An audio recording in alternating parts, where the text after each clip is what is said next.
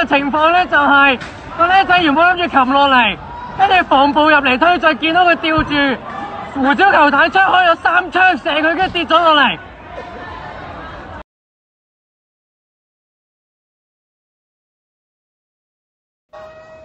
嗰個十六歲少年用手吊住喺天台邊，有警員用強光照佢，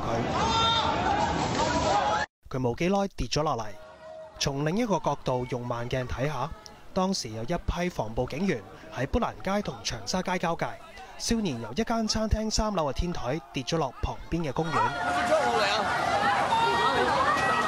附近嘅人隔咗一陣先至察覺，事發嘅時候有喺公園嘅人聽到嗰個少年喺天台求救。佢話要跳落嚟，叫我接佢，我話我點接你啊？